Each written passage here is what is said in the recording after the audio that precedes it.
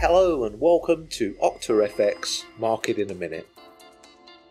Tuesday's sell off in the cryptocurrency market continued to spill over into Wednesday trading, with Bitcoin dropping over 10% and falling below the $10,000 mark. Ethereum also fell by well over 15%, piercing the $1,000 level and finding support towards the 800 US dollar mark.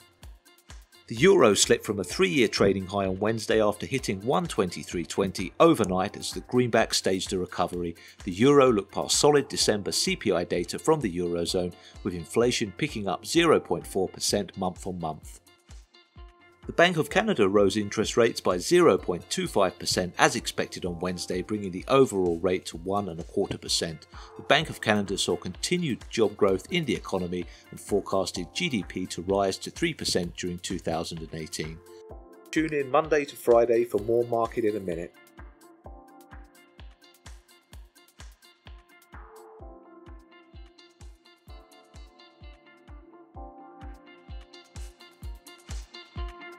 you